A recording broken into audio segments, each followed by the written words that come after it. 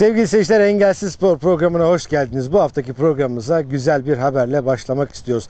Radyo Evi Derneği yani RADEV Engelsiz Spor programını yılın spor programları arasında en pozitif olarak değerlendirdi. TRT Spor, Engelsiz Spor'da Cem Çınar'ı davet ediyoruz efendim. Ödüllerini almak üzere. Radyo Evi Derneği tarafından düzenlenen Türkiye'de negatifi pozitife çevirenler 8. Radev Artı Ödülleri töreni Ankara'da gerçekleştirildi. Yusuf Erbaş'ın başkanı olduğu Radev'in ödül törenine medya temsilcilerinin yanı sıra siyasetten sanata, spordan sağlığa birçok alanda önemli isimler katıldı. TRT Spor'da yayınlanan Engelsiz Spor programı yılın pozitif televizyon programı seçildi. Engelsiz Spor'u tebrik ediyoruz. Ödül için çok teşekkür ediyoruz önce öncelikle. Biz e, engelli bireylerimizin e, spor faaliyetlerini ekrana taşımaya çalışıyoruz. E, onların sporla maddi manevi kazanımlar elde etmesini istiyoruz. Hedefimiz bu. Ödülü yapımcı Cem Çınar adına Dilek Kalkan ve Behiye İlhan Radev Başkanı Yusuf Erbaş'tan aldı. Yılın Pozitif Spor Federasyonu ödülü Tekvando Federasyonu Başkanı Doçent Doktor Metin Şahin'e, yılın Pozitif Spor Gazetecisi ödülü Ali Öcal'a verildi. Şimdi sırada ampute futbol var. Ampute futbol Süper Ligi geride kaldı fakat Türkiye Kupası mücadelesi vardı Aksaray'da. İki grupta 8 takım mücadele etti. Bu mücadelelerin hepsini vermeyeceğiz ama birkaç maç seçtik sizler için. İlk önce Antalya Asat Esenyurt mücadelesindeyiz. Ampute Futbol Türkiye Kupası'nda Antalya Asat Gençlik Spor Kulübü Esenyurt engelli gücü karşısında grupta son maçlar iki takımın da üçüncülük ya da final şansı yok. Mücadele başlıyor. Antalya takımı araya girdi, topu kazandı. Ahmet Onur pasını verdi. Ceza sahası yan çizgisi geriye doğru çıkardı Turgut. Ahmet Onur bir kez daha pas. Tekrar Ahmet Onur çok güzel bir gol.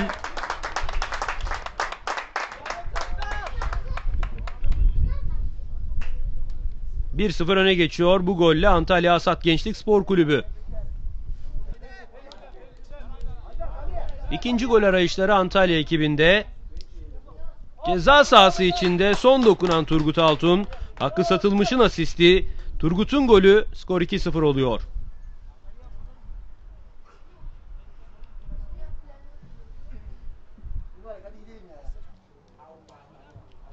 Görüntüler ikinci yarıdan.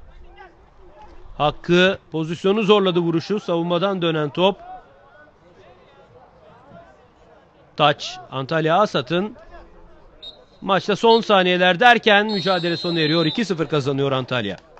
Ya gerçekten güzel bir turnuva oldu. Takımlarımızı hep maçtan maça tanıyorduk. Ama bu maçlar e, bizi ekiplerimizi tanıma ihtimali ya da güzel maçları peş peşe izleme ihtimalleri vermiyordu. Ama e, böyle bir Türkiye Kupası düzenleyerek gerçekten e, bir de favorilerin kazanmadığı e, bir turnuva oldu. O da beni başka bir mutlu etti. Demek ki bazı şeyler e, çalışmayla değişebiliyor. Konya Engelliler Gücü Metikal Park Samsun Engelliler Gücü mücadelesindeyiz. Konya engelliler Türkiye Kupası'nda Medikal Park Samsun Engelli Gücü Gençlik ve Spor Kulübü ile karşı karşıya geliyor. Gruplarda son gün mücadelesi iki takımda kazanmak istiyor. İlk atak şansı Medikal Park Samsun Engelli Gücü'nden geldi ancak sonuç gelmiyor. Bu kez Konya atağı sert vuruş. Top ağlara gidiyor. Bu golle 1-0 öne geçiyor. Konya tekrar izliyoruz. İkinci gol arayışları kazanılan topla bir anda pozisyon yakaladı ve o golü de buldu. Konya Bedensel Engelliler Spor Kulübü tekrar izliyoruz.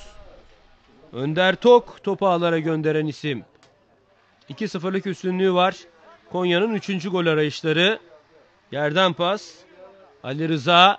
Ali Rıza kaleci. Furkan gole izin vermiyor. Ardından çabuk çıktı. Samsun ceza sahası içi çok güzel bir gol. Murat Koltuk topu ağlara gönderdi. Skor 2-1 oluyor bu golle. Tekrar izliyoruz. Bu gol maçın da sonucunu belirleyen gol oluyor. Konya Bedensel Engeller Gençlik ve Spor Kulübü Medikal Park Samsun'u 2-1 mağlup ediyor. Turnuvanın tek berabere biten mücadelesi Osmanlı Spor'la Şahinbey Belediyesi arasında oynandı. Ampute Futbol Türkiye Kupası'nda 3. gün maçlarında Osmanlı Engelliler Spor Kulübü Şahinbey Belediyesi Gençlik ve Spor Kulübü karşısında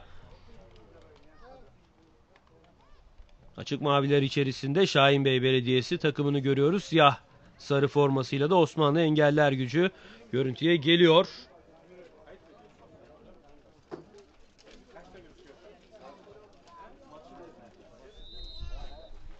Mücadele başladı.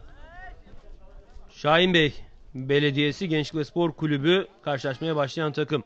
Rahmi girdi araya. Richard Opentil. Şehmuz kafasından seken top. Savunma kaleci oynamak istedi. Şehmuz araya girdi ama out. Etkili geldi Osmanlı Spor. Savunmanın hatasında bu arada. Kale boş Rahmi. Ayağının dışıyla vurdu ama sonuç alamadı. Fatih Karakuş boşa çıkmıştı o pozisyonda. Richard geri oynadı. Hudoylukov yerden. Şemus tekrar Hudoylukov şut şansı aradı bulamadı. Pasını verdi. Alican vurdu. Osmanlı Spor golü buluyor 1-0. Üst üste geliştirilen ataklar sonunda golü bulmayı başarıyor. Osmanlı Spor Alican Kuruyamaç topu ağlara gönderen isim. Kudret Huydoylukov pası verdi. Alican golü attı. Ali Molon kullanıyor köşe vuruşunu Şahin Bey Belediyesi'nde kafa dışarıya gitti. Duran topta etkili oldu Şahin Bey. Görüntüler ikinci yarıdan. Richard sert vurdu direkten döndü top. Fatih uzandı dokunamadı. Şahin Belediyesi hata. Uzaktan sert vuruş. Top dışarıya çıkıyor. Yalçın'ın vuruşunda dışarıya çıktı top. Serbest vuruş kullanıyor. Şahin Belediyesi Yalçın yerden bıraktı. Vuruş ve gol. Beraberlik golü. Beraberliği buluyor Şahin Belediyesi. Barış Telli eski bir Osmanlı sporlu o da. Barış'ın golü 1-1'e getirdi skoru.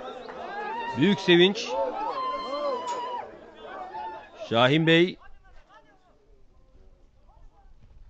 İşte bu gol maça eşitliği getirdi.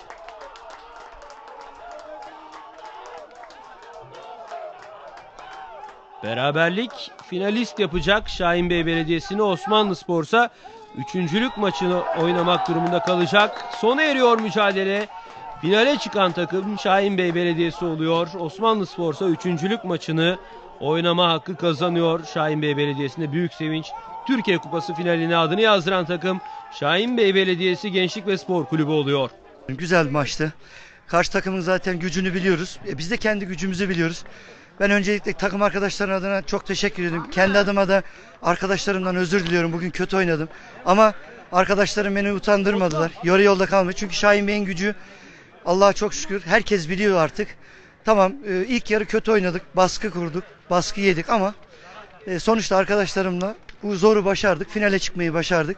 Bütün arkadaşlarıma çok teşekkür ediyorum. Öncelikle e, Türkiye Kupası finallerine çıkan Şahin Bey Belediye'yi tebrik ederim.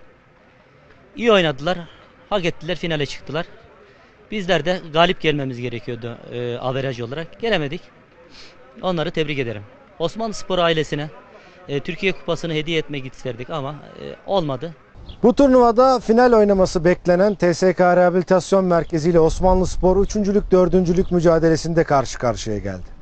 Ampute Futbol Türkiye Kupası'nda üçüncülük mücadelesi Osmanlı Engeller Spor Kulübü Türk Silahlı Kuvvetleri Rehabilitasyon Merkezi karşısında üçüncülük maçına çıkıyor. Ligde şampiyonluk yaşamış takımlar. Güçlü iki takım eski dönemde birbirlerine çok güçlü iki rakipti. İki başkent ekibi üçüncülük maçına karşı karşıya geldi. Osmanlı Spor savunmadan top çıkartıyor Şehmuz. Orta alan mücadelesi sürüyor. Savunma arkasına pas. Ceza sahası. Boşta kalan top ağlara gidiyor. 1-0 öne geçiyor. Osmanlı Spor. TSK karşısında aşırtma bir vuruş denemesi. Başarılı olmadı. İlk yarı 1-0 tamamlandı. Görüntüler ikinci yarıdan. Osmanlı Spor baskıyı arttırmak istiyor.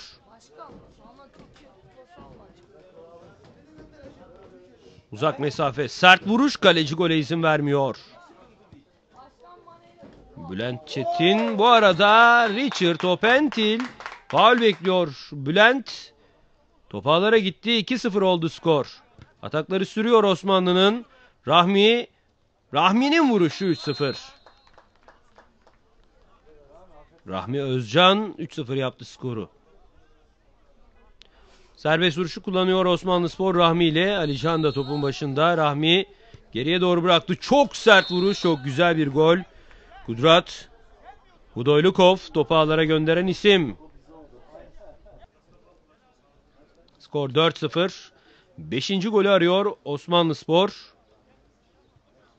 Yerden paslar. Ceza sahası içi.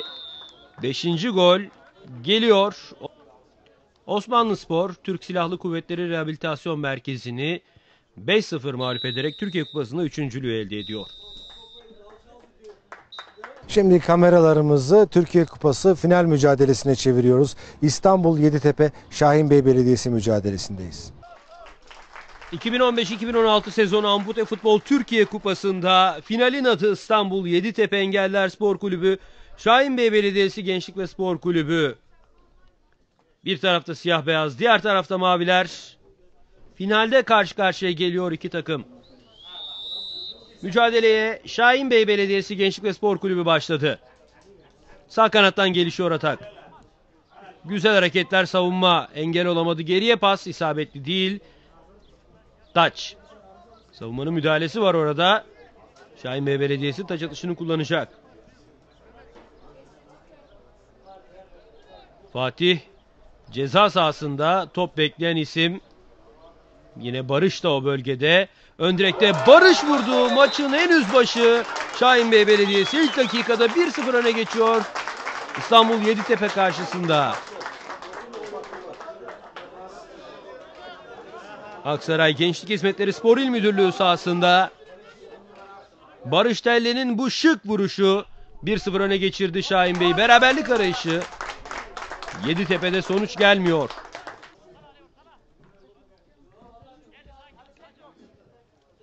Tek top. Fatih koştu savunma arkasına. Fatih dokundu. 2-0 oldu skor. İki pasla golü buldu Şahin Bey Belediyesi Yeditepe karşısında işte bu dokunuş. Ardından savunmanın arkasına hareketlendi.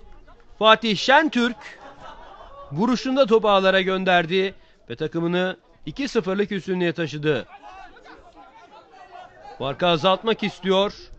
Yeditepe ara pası güzel ceza sahasına girerken kaleci kapattı açıyı. Serkan bedel pası vermişti Muhammed Mübarek. Sonuç alamadı bu pozisyonda Ömer Güler Yüz serbest vuruşta topu dışarıya gönderiyor. Görüntüler ikinci yarıdan Barış. İleriye doğru pasını verdi. Ceza sahası dışı son dokunan Fatih. Kafayı soktu Fatih. Skoru 3-0 yaptı. Fatih Şentürk Barış'ın vuruşunda son dokunuşu yapan isim oldu. Skoru 3-0'a taşıyor bu golle. İşte pozisyon. Yine savunmada kaleciyle başladı atak. Barış Telli ileriye doğru gönderdi. Ardından hızla koşuyu sürdürdü. Barış ve son dokunan Fatih oluyor. Skor 3-0. Maçta artık son anlar. İşaret geldi. Serbest vuruş kullanılıyor. Doğrudan kaleye. Mehmet Yunsur sonuç alamadı. Ve maç sona eriyor. Ampute Futbol Türkiye Kupası'nın kazananı 2015-2016 sezonunda Gaziantep Şahin Bey Belediye Gençlik ve Spor Kulübü oluyor. Büyük sevinç Şahin Bey ekibinde. bütün ampute futbol camiasına teşekkür ediyorum. Güzel bir müsabaka oldu, güzel bir organizasyon oldu. Ee, Federasyon başkanımıza teşekkür ediyorum. Bedensel engelli federasyonumuz. Allah razı olsun. Ee, bütün imkanları da sağlıyor. İmkan sağladıkça da biz elimizden geleni yapmaya hazırız. Ee, Şahin Bey olarak kupayı aldık. Çok mutluyuz. Şimdi gül oynaya memleketimize gideceğiz. Öncelikle buraya katılan 8 takımımızı e, kutlamamız lazım. Bu sıcakta e, ama güzel atmosfer içinde e, çok ciddi mücadeleler ortaya koydular. Öncelikle şampiyon ekibimizi e, bu vesileyle kutluyorum. Burada tabii e, biraz evvel Barış arkadaşımızı da dinledik. Annesini babasını dinledik. E, Barış'ın komple bir sporcu olmasının e, şimdi e, nasıl gerçekleştiği ortaya çıktı. Annelerin, babaların evlatlarına bu kadar e, yakın ve sahip çıkmasıyla biz e, bu engelleri aşacağımızı umuyorum. E, Barış bizim hem atletizmde hem am- amputede milli sporcumuz. E, bir kez daha kutluyorum ama özellikle e, annemize ve babamıza çok teşekkür ediyorum. Böyle güzel bir evlat yetiştirdikleri için. Camianın iyiliklere, güzelliklere, barışa ve huzura ihtiyacı var.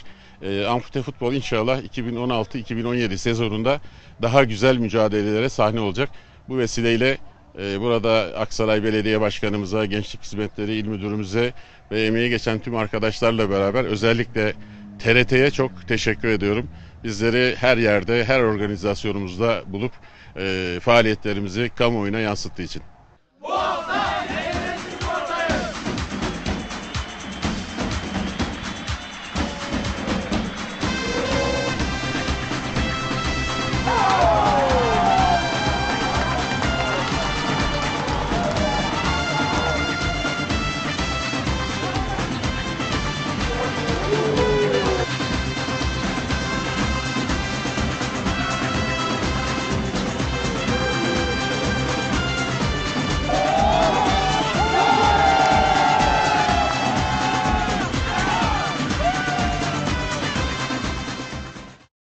Sevgili seyirciler Paralimpik oyunlarına biliyorsunuz çok az bir süre kaldı. Güzel haberler gelmeye devam ediyor. Arkadaşımız Büşra Ün tekerlekli sandalye teniste Paralimpik oyunlarına gitmeye hak kazandı. Daha önce Büşra Ün'le ilgili bir hayat hikayesi yayınlamıştık. Dilerseniz o bölümü tekrar seyredelim. Tekrar birlikte olacağız.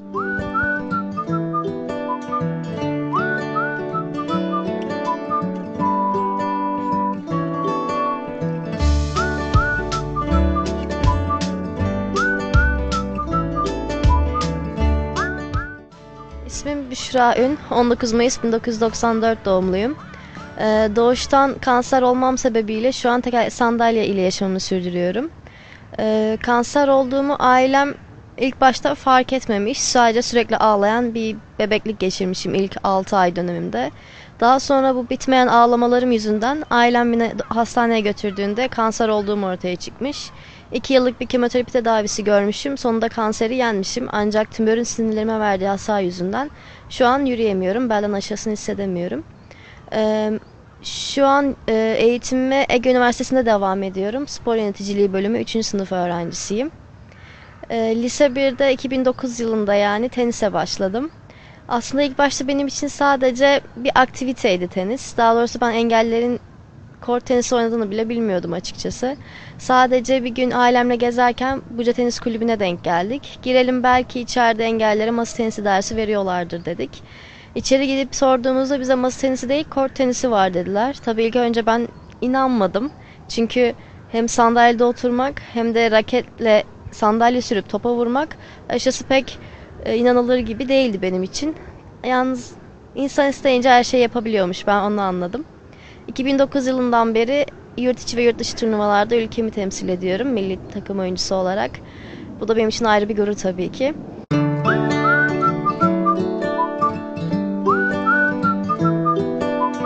Engelli gördüğümüzde biz Türk insan olarak hemen yardım etmek, ihtiyacını gidermek isteriz. Ee, o yüzden ben de çok güler yüzlü bir çocuk olduğum için ilgi üstümde çekerdim açıkçası. Ama e, tenise başladıktan sonra çok değişti hayatım. En basitinden ben dışarıya tek başıma çıkmaya korkan bir çocuktum açıkçası. Daha doğrusu otobüsle seyahat etmeye. Okula gideceğim zaman annem sürekli benimle gelirdi. İlkokulda 5 yıl boyunca her gün annem benimleydi okulda. Ama şimdi okula tek başıma gidip gelebiliyorum. Ben otobüse bile binmeye korkarken şimdi tek başıma yurt dışına turnuvalara gidebiliyorum. Yabancı dilim gelişti. Böylece yurt dışında herhangi bir sorunla karşılaştığım zaman her işimi tek başıma halledebiliyorum. Çünkü yeri geliyor uçağımız kaçıyor. Çünkü kimse kimse demek doğru olmayabilir belki ama herkes Türk insanı kadar duyarlı değil açıkçası. O yüzden çantalarımızı taşımayanlar oluyor. Yardım göremiyoruz havaalanlarında. O yüzden bunu da yabancı dilimle hallediyorum. Onun dışında bir ortama girdiğimde kendimi daha iyi ifade edebiliyorum. Çünkü tenisle gerçekten iyi şeyler yapabileceğimi kendime de kanıtlamış oldum. Böylece Ah, çok güzel. Böylece kendime özgüvenim geldi ve artık ben de bu ülkede iyi şeyler yapabilirim diyebiliyorum.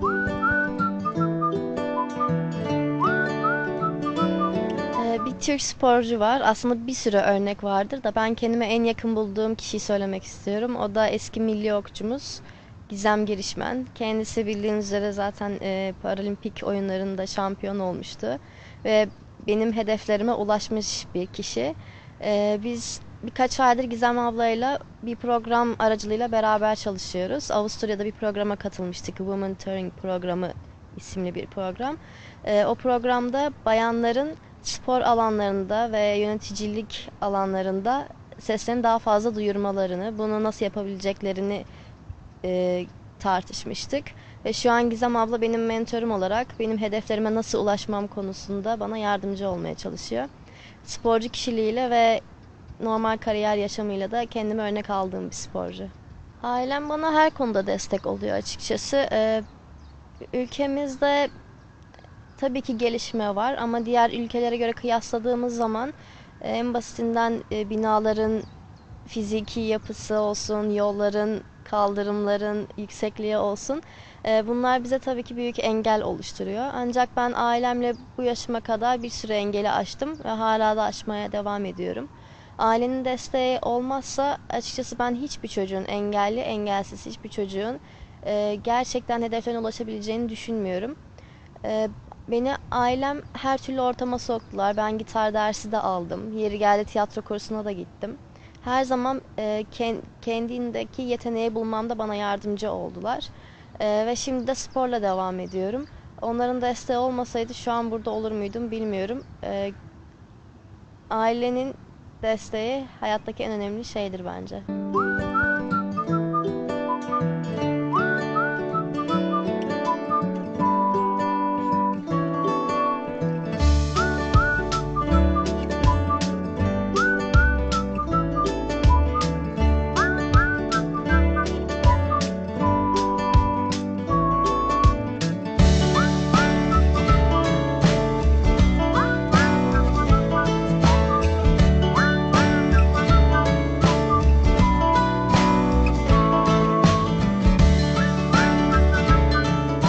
Sevgili seyirciler bir engelsiz spor programının daha sonuna geldik. Gelecek hafta yine aynı saatte görüşmek dileğiyle. Hoşçakalın.